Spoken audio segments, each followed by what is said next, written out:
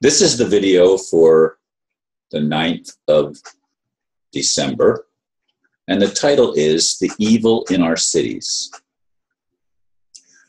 Looking at election results, it is easy to see that there is a concentration of support for Hillary in our big cities. It should come as no surprise, therefore, that it is in our cities that the pop and that the pedophiles concentrate. Folks, these are not only people who sexually abuse children, they often murder them after the abuse. These are very sick people, and what they want most is to remain hidden, keeping their malevolence under wraps. Thank God it's being exposed. I see this as a good thing, even though the mainstream wants to wants those who see and speak out to be labeled as conspiracy theorists. I do agree with Trump that the swamp needs to be drained. Are there enough decent people who are powerful enough to accomplish this? May God help those courageous enough to take a stand for truth and justice. I wrote that several hours ago now. I actually started the blurb for the video after this one uh, as well. uh, so I've, I've got things working on me as far as uh, making videos. But I've been really concerned about this whole election and, and what's going to happen in America. Although David Icke, the video that I just listened to a little while ago with David Icke, says it's it's up to us, meaning the regular people. It's not forget the politicians. It's not up to them. And I'd like to believe that there's truth in that, and there would be truth in that if the politicians didn't also control the police forces and the military. And so many of, of the uh, power for power by force uh, structures that control the population. It's not as easy as speaking out. I've been speaking out for a long time. That's why they try to make an example out of me. But the evil is concentrated, as I said, in the cities. That those are the ones that went and in the vote went for Hillary, even in the places where Trump uh, won. And by the way, the some of the recount uh, results that I've looked at so far don't show Hillary uh, gaining at all. Um, and in fact, uh, one of the states that I guess she won, uh, they're not looking at a recount there, but uh, that's Nevada. Uh, she didn't really win. There was uh, definitely some uh, things that, that weren't weren't up to snuff and weren't being honest. But then again, nothing in the world of the government is honest. They are run by demons. The government system is run by demons. They don't play by rules, at least not rules that you and I, the average, the average person in the world, would resonate with. Their rules are anything goes. That's why pedophilia runs rampant where they concentrate in places like Washington, D.C., and New York City, and uh, Los Angeles, and San Francisco, and Chicago, and the big cities, not just in the United States either, it's all over the world. That's where the concentration of these, uh, these people are. And they do not want to be uncovered, they do not want to be exposed. Because if they were exposed, their game is up.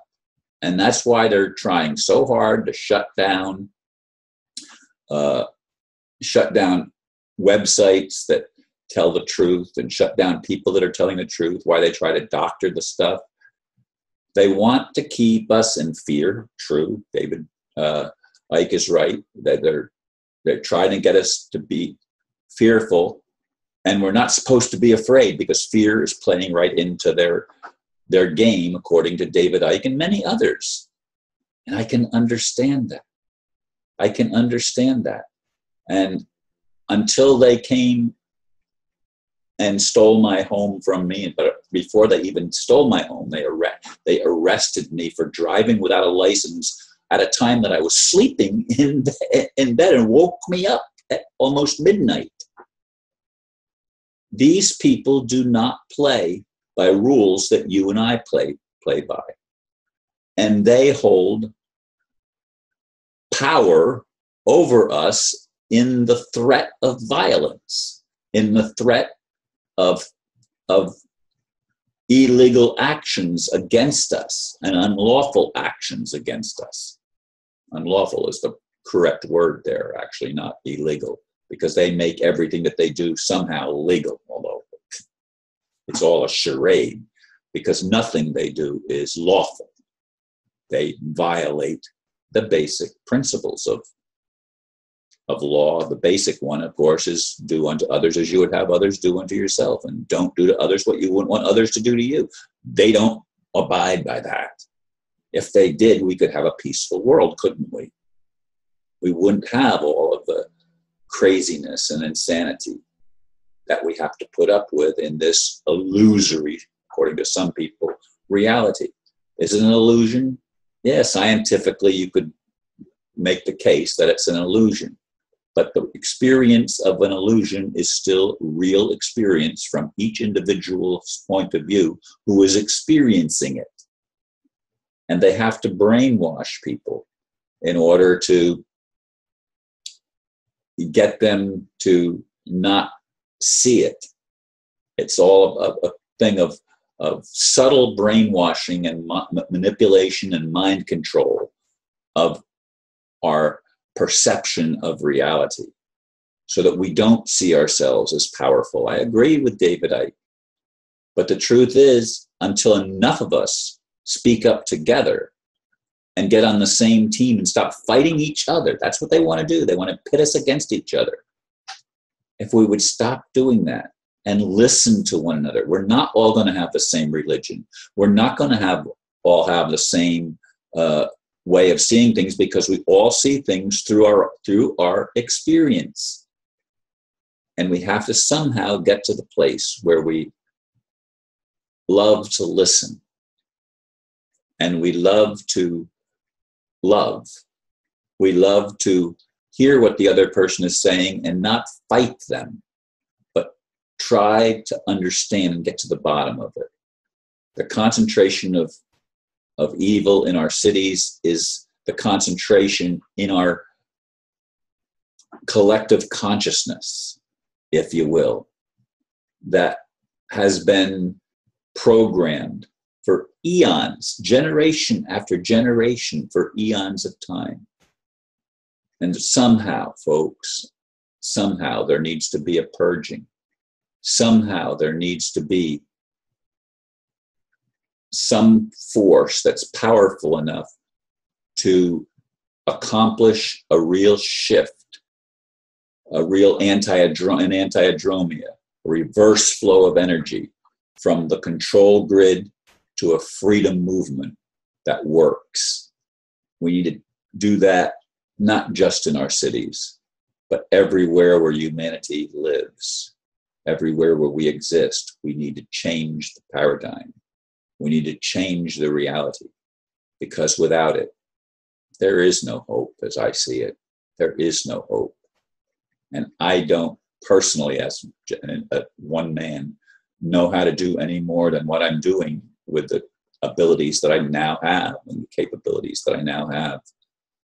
I do thank you, those of you that listen, those of you that pray for me. I physically, I am going through a tremendous challenge, as I've been saying. I don't have a lot of energy. Uh, my feet seem to be getting worse, not better. Uh, anyway, thank you for listening and God bless you. Namaste.